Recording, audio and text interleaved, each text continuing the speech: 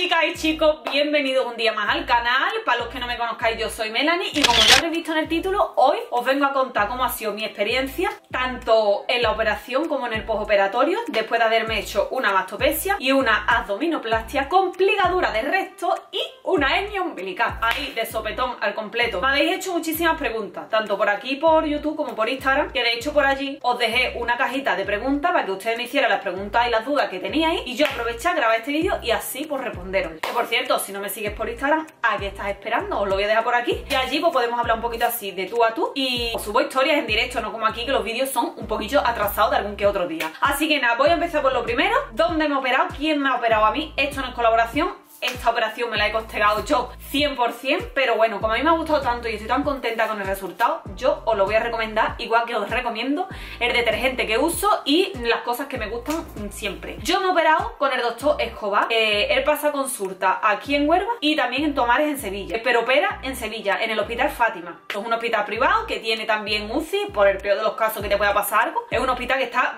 bastante bien preparado. Ya subí un vídeo donde os cuento de qué me he operado y por qué me he operado, que lo voy a dejar por aquí arriba por si no lo habéis visto y queréis ir a enteraros está de qué se ha operado o por qué se ha operado, pues lo dejo por aquí arriba y así podéis ir a verlo. Y nada, a mí me ha operado el doctor Escobar que me súper encanta. Yo aquí en Huelva fui a ver a dos cirujanos, entre ellos el doctor Escobar y otro. El otro no me gustó nada, pero bueno, no voy a decir nombre, ni voy a decir por qué no me gustó, ni nada. Pero lo que más me gustó del doctor Escobar es que me dijo las cosas claras. Tanto lo bueno que me iba a pasar, tanto lo malo que también me podría pasar. Eso a mí me gustó. A mí no me gusta que tú me digas, ay, qué bien vas a quedar, mm, esto no duele nada, la semana vas a estar estupenda, vas a poder hacer vida normal a los 15 días. Mentira. O sea, eso es mentira. Y a mí el doctor Escobar me lo dijo. O sea, hasta el mes no vas a poder hacer vida normal.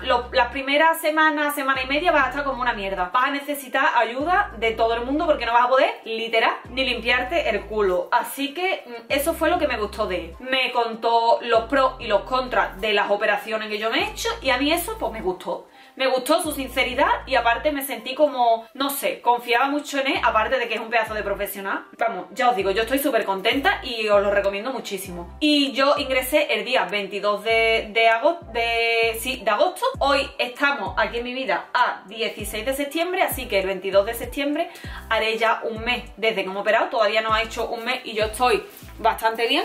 Todavía no estoy recta del todo porque, bueno, sigo llevando la faja, que la tengo por aquí, ahí. Sigo llevando la faja, que tengo que llevarla un mes completo y la faja pues, te tira un poquito y es un poco incómodo. La operación salió súper bien, yo me he hecho una mastopesia, que lo que es la cicatriz es en forma de T invertida. Os voy a dejar por aquí una imagen de cómo es la cicatriz para que os hagáis una idea. A mí a día de hoy apenas se me nota. Los puntos eran puntos internos. O sea, yo solamente tenía un punto aquí abajo de esta cicatriz que baja para acá y un punto aquí de esta cicatriz que iba para allá. Pero no un punto, sino lo que es el cadito, el nudito del punto que iba cosido hasta aquí. Y ayer ya me lo quitaron y no me dolió nada el quitármelo. Y nada, ¿qué me he puesto? En el pecho he puesto prótesis redonda. ¿Por qué? Porque las anatómicas yo, en mi caso, que lo que tenía era el pecho muy caído y muy vacío después de las dos lactancias, las prótesis anatómicas para mí eran, mm, vamos, que no me la ponía. O sea, que a mí prótesis anatómicas no me las ponía porque se me iban a ver vacías por arriba igualmente. Entonces yo la prótesis que tengo es prótesis redonda y así me da un poco de, de volumen en la parte de arriba para hacer un buen escote y que quede bonito. A mí personalmente, a mí no me gustan los típicos pechos que son como dos pelotas y que se ve venir de lejos que tienen los pechos operados. Yo eso no lo quería y yo eso se lo dejé muy claro al cirujano y él me dejó a mí muy claro que me olvidara porque así no me iba a quedar a mí, por mi constitución y por mi tipo de piel. Mi piel tiende a caer, así que mí ahora mismo sí tengo dos pelotas, pero eh, cuando vayan pasando los meses a mí el pecho va a tender a ponérseme en forma súper natural. Así que yo es lo que quería. Me he puesto 300 centímetros cúbicos en cada uno, que es súper poco, pero yo soy una persona súper pequeña y también le dejé claro que no quería unos pechos muy grandes, porque soy muy chica, porque yo mido 1,56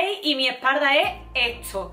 Y si yo me pongo dos tetorras, que a mí, a mí personalmente los pechos grandes, grandes no me gustan, pues me iba a hacer más bajita, me iba a hacer más gorda y para mi gusto me iba a hacer incluso más vieja. Entonces yo le dejé claro que yo quería mi tamaño original, pero bien puesto. Todavía la tengo súper inflamada, de hecho me ha dicho que como me va a quedar no tiene nada que ver como lo tengo ahora, que me va a quedar todavía así más asentadita. Y bueno, ya la inflamación sí es verdad que va bajando con respecto a los primeros días, pero aún así todavía la tengo súper inflamada. A mí el pecho no me ha dolido absolutamente nada. Normalmente cuando tú te haces la operación de pecho solo, sí te duele, sobre todo si es la primera operación porque te tienen que hacer lo que es la bolsita esta para que para meterte la prótesis y eso, ostras, eso dicen que duele muchísimo. Pero yo al haberme hecho los pechos con la barriga a la vez, ya el cirujano me lo dijo, me lo dijo antes, que a mí el dolor se me iba a reflejar solo en un solo sitio. ¿Y qué es lo que más duele? Por la barriga. Entonces a mí solo me ha dolido la barriga. Yo de los pechos es que ni me he enterado. Después pasamos, creo que de arriba ya lo he dicho todo. Pasamos a la parte de la barriga. Yo tenía mucho,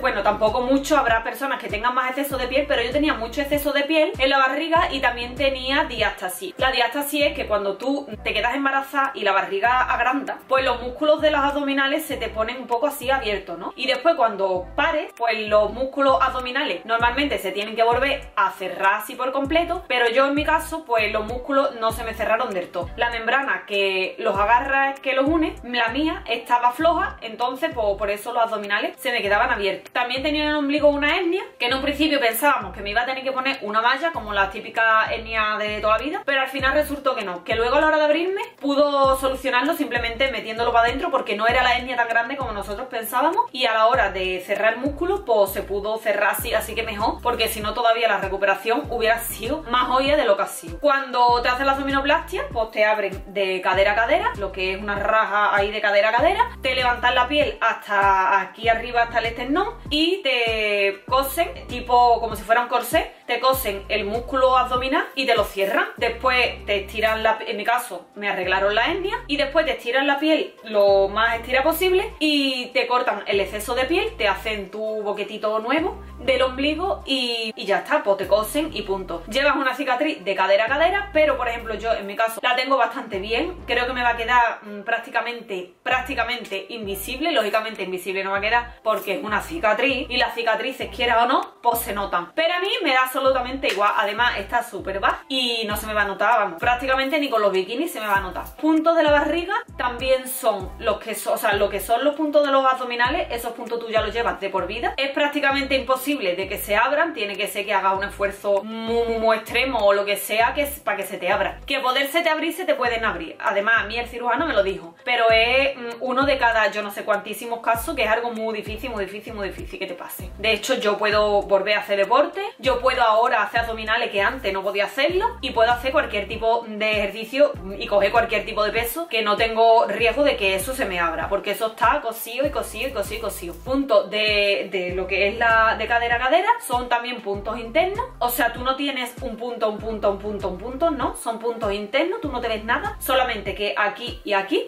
tiene pues el nudito y el cabito, que a mí ya pues me la han cortado también y yo ya no tengo ni un punto así por fuera colgando. Y nada, también he cicatrizado súper bien, yo a la semana, semana y algo ya no tenía apenas nada. Y nada, yo con el doctor Escobar eh, he estado yendo toda la semana y me estaban dando carboterapia, creo que se llama. Mm, no sé si lo estoy diciendo bien, pero bueno, es como una máquina con un cablecito y una agujita en la punta que te pincha en la cicatriz y en zona donde tienes hematoma y lo que hace es que drena ese hematoma, drena y mejora, pues para que no tengas tantos hematomas en la barriga. Suelta como una especie de aire, bueno, una especie de aire no, suelta aire, pero yo creo que no sé si es oxígeno, no sé qué es lo que sale exactamente, pero hace que eso mejore muchísimo y la verdad que, que hace bastante porque llegabas con hematoma y te ibas prácticamente sin hematoma, porque hace que, que drene. Y después en la zona del ombligo yo tenía por fuera 8 puntos, que ya también me lo quitaron ayer, y después por dentro pues más puntos, pero que esos puntos se disuelven solo y no tienes que ir quitándotelo ni nada. Después los drenajes, yo en mi caso los drenajes los llevaba en el pubis, o sea, si mi cicatriz estaba aquí, yo los drenajes los llevaba abajo. Otros cirujanos y otras abdominoplastias te ponen los drenajes en las puntas de,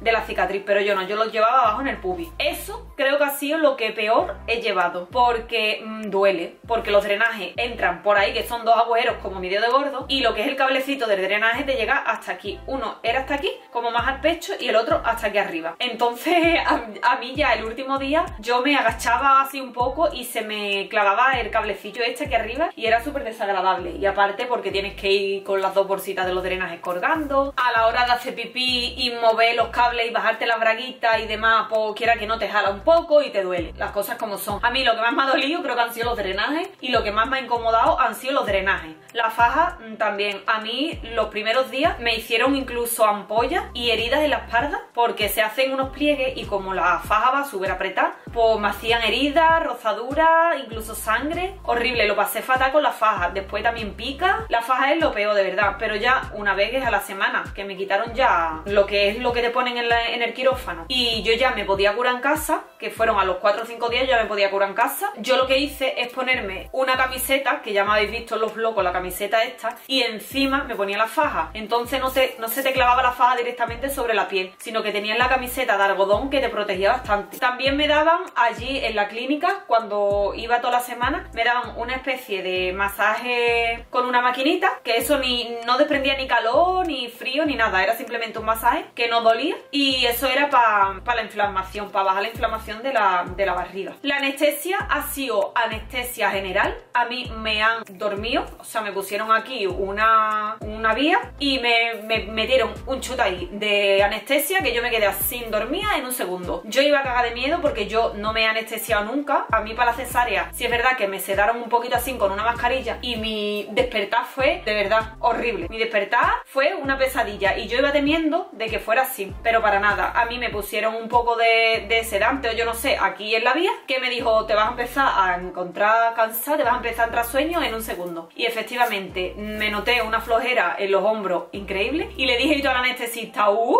Esto está empezando ya a hacer efecto, ¿eh? Y me quedé dormida así tal cual. La anestesia general sí en la que te intuban, te meten un tubo, vamos, yo, de eso no me he enterado de nada porque te lo ponen ya cuando estás dormida y te lo quitan cuando estás dormida. Entonces tú te duermes así y te despiertas así, estupendamente. Y a mí me daba mucho miedo la anestesia porque mm, al final no deja de ser un riesgo, es una anestesia y a mí me daba miedo. Yo iba con pánico más por la anestesia que por lo que era la cirugía porque confiaba muchísimo en mi cirujano y al final es una cirugía muy grande, pero no es una operación de corazón abierto, ¿sabéis? Que tiene su riesgo o una operación de para dentro de las tripas ni nada de eso. Era una operación, digamos, más superficial. Entonces yo por ese lado iba tranquila, pero a mí la anestesia de verdad que me da un miedo increíble y sé que a la mayoría que tenéis ganas de operaros es lo que más miedo os da. Pues yo, por ejemplo, en mi caso, yo me quedé dormida y me desperté al segundo y tan tranquila y tan bien. Yo lo que sentía al despertar fue como, como mucho cansancio, como si cuando, como cuando te duermes una siesta de más tiempo de la cuenta y te levantas súper cansada y así, pues eso es lo que yo sentí, no sentí más nada. Desperté súper bien, pero sí es verdad que después, al cabo del rato, cuando ya me bajaron a la habitación, me empezaron a entrar náuseas y vomité. La gente me decía, ay Dios mío, vomitar con una abdominoplastia es lo peor del mundo. Mentira. O sea, yo vomité recién operado, tú todavía estás anestesia, tú todavía tienes esto dormido. Te molesta un poco, pero porque te tienes que inclinar así y estás súper apretada, pero no sientes un dolor de morirte, ya te lo digo, vamos, para nada. Si es verdad que ya luego al día siguiente, pues sí sientes más dolores, porque ya se te quita el efecto de la anestesia y estás más doloría, te tienes que levantar día siguiente. Yo me operé un lunes por la mañana y hasta el día siguiente por la mañana no me pude levantar. Me hicieron una analítica para ver si estaban todos los valores bien y como estaban todos los valores bien, yo me encontraba bien y tenía apetito y todo eso, pues ya me dijeron, eh, pues ya te puedes levantar muy poquito a poco. Tú primero te sientas, te lleva unos 10 minutillos porque lo más posible es que te encuentres marea. Yo, por ejemplo, no me mareé. Para levantarte necesitas que alguien, literal, como una muñeca,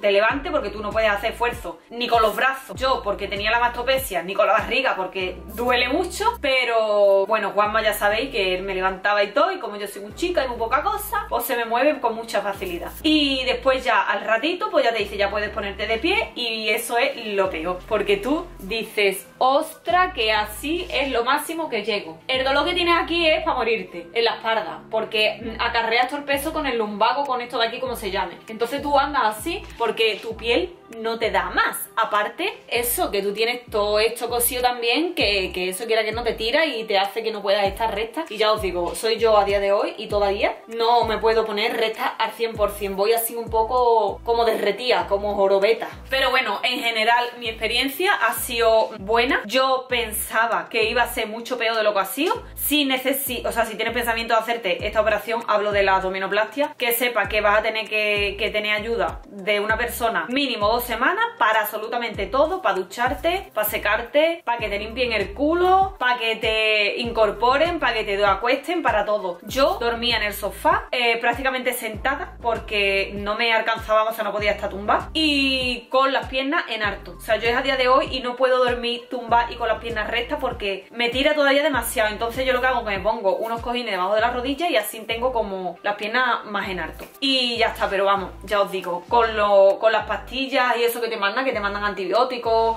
calmantes, sobrecito para ir bien al baño y todo eso, se hace súper llevadero. Ya a la semana y media, dos semanas, ya no te tomas nada y ya no necesitas en realidad nada porque no te duele nada. Lo peor, ya te digo, es la faja, que es muy incómoda, pero al final, incluso a la faja, te acabas acostumbrando y la llevas y no te das ni cuenta como me pasa a mí ahora mismo, al revés. Cuando me la quito, me siento como desprotegida y es una sensación súper rara la que, te, la que te entra, porque es como, Dios mío, qué floja estoy, no puedo, no, no te salen ni las palabras, porme ya la faja. Y nada, pues creo que no se me olvida nada así en general. Hay algunos cirujanos que la abdominoplastia la hacen con anestesia epidural, pero el mío no, el mío la hace con anestesia general, el mío y muchos otros, pero el mío la, me la hizo con anestesia general, yo le pregunté por qué y él me dijo porque con la epidural tú, o sea, la epidural te duerme de cintura para abajo, pero no hasta el esternón, que es lo que él me despega, hasta el esternón. Y aparte tú con la, con la, con la epidural respiras por ti misma, sin embargo con la anestesia general es una máquina la que respira por ti y lo que es la barriga tú no la mueves, entonces a la hora de coserte el músculo puede coserte, o sea, puede terminar antes la operación porque te cose más rápido, no tiene que estar esperando que tu barriga baje. Y lo que es luego el resultado pues es más, mucho mejor porque te puede apretar todavía más el músculo al no tenerlo en movimiento. Así que pues nada, esa ha sido mi experiencia, en realidad ha sido mm, fantástica, esperaba que iba a ser mucho peor de lo que, de lo que en realidad ha sido. Y os voy ahora a contestar a las preguntas que me habéis hecho por Instagram y también por aquí, que las tengo aquí, aquí preparadas y así pues resuelvo también vuestras dudas. ¿Dónde te lo has hecho y cuánto te costó? Pues ya os lo he dicho, me lo ha hecho el doctor Escobar, que tiene clínica aquí en Huelva y también en Sevilla y opera en el Hospital Fátima de Sevilla. ¿Y cuánto me costó? Esta ha sido la pregunta más, más, más hecha. Cada operación tiene un precio, cada cirujano tiene un precio y yo he necesitado una cosa que a lo mejor tú no necesitas o lo tuyo es más caro o tú necesitas otra cosa y es más barato o lo que sea. A mí todo me ha costado 13.000. En mi caso, mi clínica financia, así que de lujo. o si no, creo que no me hubiera podido operar. Puedes pagar parte así, así y parte financiado o financiarlo todo o pagarlo todo así o ya como a cada uno le convenga. Así que a mí lo que más, lo que me ha costado ha sido 13.000 euros. Siguiente pregunta, ¿te has arrepentido de haberlo hecho? Pues lo volverías a hacer 100% sí. De hecho, creo que si yo llego a saber el, tanto el resultado como lo gratificante, o sea, tanto lo bien que me iba a sentir yo ahora, tanto que tampoco ha sido para tanto el dolor, yo me lo hubiera hecho antes y no hubiera esperado tanto porque yo he esperado mucho por el miedo que tenía. Y yo a día de hoy no me arrepiento, al revés, me alegro muchísimo de haberme lo hecho y creo que me lo tenía que haber hecho incluso antes. ¿Lo has podido pagar por mensualidades o entero? Pues ya lo he respondido, se puede financiar o lo puedes pagar también así de sopetón o puedes pagar parte financiado y parte de sopetón. ¿Te pusiste silicona o qué te hiciste? Sí, yo en mi caso me he hecho una mastopesia, que es una elevación del pecho con eh, prótesis, pero también te lo puedo hacer sin prótesis. Por ejemplo, mi cirujano me dio la opción de hacérmela si me la quería hacer sin prótesis lo que pasa que como me tenía que quitar muchísima piel, el pecho se me quedaba, como yo digo, como el de una niña chica cuando le empiezan a salir y solo tiene un piquito así, pues así se me van a quedar demasiado pequeña. Porque yo tampoco es que tuviera un pecho para decir, pues mira, una reducción, no. Entonces yo en mi caso, para que me quedara como yo quería que me quedara, me tenía que poner prótesis. Hola Mel, ¿ha sido por lo privado? Sí, por supuesto, ha sido por lo privado. Que yo tenga entendido este tipo de operaciones, hablo de la abdominoplastia, por desgracia no lo hacen en la seguridad social. ¿Enseñarás tú barriguita? Pues por supuesto, estoy deseando de ponerme un bikini. De hecho, cuando pueda quitarme ya la faja, lo primero que voy a hacer va a ser promarme un bikini. O sea, tengo ahí un bikini nada más, que me pedí en Shane porque ya sabía que me iba a operar y quería tener ahí un bikini. Y me lo pienso de poner, o sea, lo primero que haga va a ser ponerme un bikini y verme. Hasta los tres meses yo no puedo dormir de lado. ¿Por qué? Porque se te puede mover la prótesis y quitársete una aquí y la otra en Pekín. Hola, men, la abdominoplastia, ¿cómo ha ido? El posoperatorio es duro, quiero hacérmela. Es duro, pero es duro porque porque no puedes hacer absolutamente nada. Necesitas ayuda para todo. La faja es muy incómoda, pero no es muy, muy, muy doloroso. De hecho, yo a los 15 días ya me he quedado aquí en mi casa sola con los niños. Lógicamente, sin cogerlos en brazos mm, y sin hacer absolutamente nada, porque no puedo hacer nada. Pero mmm, lo que es de dolor, ya os digo, a mí lo peor ha sido, a día de hoy, lo que más me duele es el pubi porque lo tengo muy inflamado y, es lo que me duele. Pero vamos, tampoco es un dolor para morirse. Es un dolor súper llevadero. Y la última pregunta ya, ¿para qué son los drenajes? Pues drenajes son para pa que salga toda esa porquería y todo ese exceso de sangre de después de la operación. Entonces te ponen los drenajes, yo lo, en mi caso los llevé una semana y a la semana ya te los quitan y ya está. Que ha sido lo peor, ya os digo, los drenajes ha sido horrible. Lo que más me molestaba y lo que más me dolía, los drenajes. Y hasta el día de hoy lo único que me molesta es donde tenía los drenajes.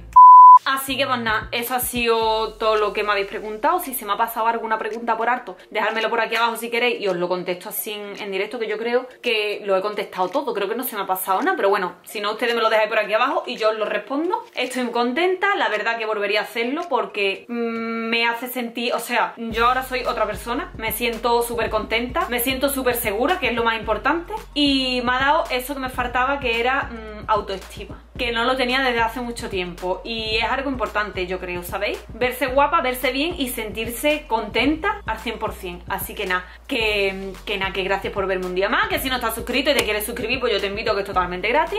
También te voy a volver a dejar por aquí mi Instagram por si quieres seguirme por allí y nos vemos el próximo día en un nuevo vídeo. Adiós.